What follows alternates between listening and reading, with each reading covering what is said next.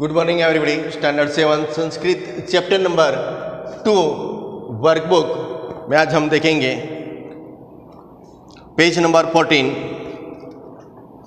कृषि का बीजकुत्र विपत्ति तो ए कृषक क्षेत्र बीज विपत्ति ए एमसीक्यू में फ़र्स्ट में ए सेकंड कृषक हलमकुत्र नयति तो सेकंड में है ए क्षेत्रम नयति. थर्ड नंबर कृषक बीजम कदा विपति? वपति। तो सी, यत्र स क्षेत्र कर्षिति तदा। सी, फोर्थ नंबर शस्यम कदा प्रकामम फलति? तो ए, यदा मेघ वर्षति तदा। फिफ्थ नंबर, क क्षेत्र बीजम वपति? तो डी, कृषक। Sixth number which season has been described in the poem मेघो वर्षती। तो D monsoon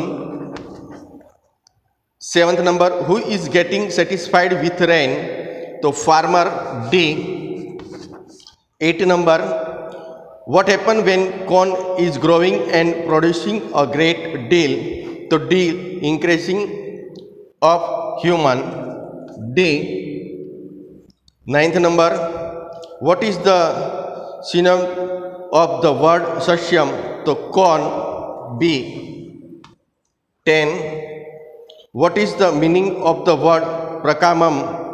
तो प्लेंटी बी ओके तो page number 15 filling the blanks मेगो dash प्रवाहती निरम तो वर्षति वर्षति सेकंड नंबर डैश कृषि का गच्छति गोष्ठम तो तृष्यति। थर्ड नंबर नयति च वृषभम डैश वहति तो हलमपि। फोर्थ नंबर कर्षति क्षेत्र, डैश च बीजम तो वपति। फिफ्थ नंबर रोहिति सस्यम डैश प्रकामम तो फलति। सिक्स्थ नंबर भवति डैश मनुकुल वृद्धि तो समृद्धि। समृद्धि okay then find the verbs from the poem and write in the given blanks follow the example वर्षति प्रवहति तो तुष्यति, गच्छति, नयति, वहति, कर्षति, वपति, रोहति, भवति. ओके तो ये आपको पीडीएफ में भिजवाऊँगा. बराबर? आप लिख लेना.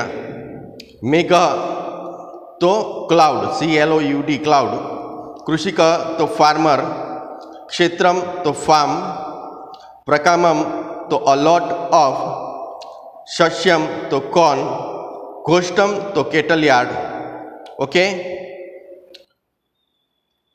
question number six find out the true first number मेघ तो जलद नीरम तो जलम कृषि तो क्षेत्र का सस्यम तो धान्यम। ये मैं आपको पीडीएफ पूरा बना के भेज दूँगा आपको। उसमें से नोट डाउन करना है, वर्कबुक फिलअप करना है।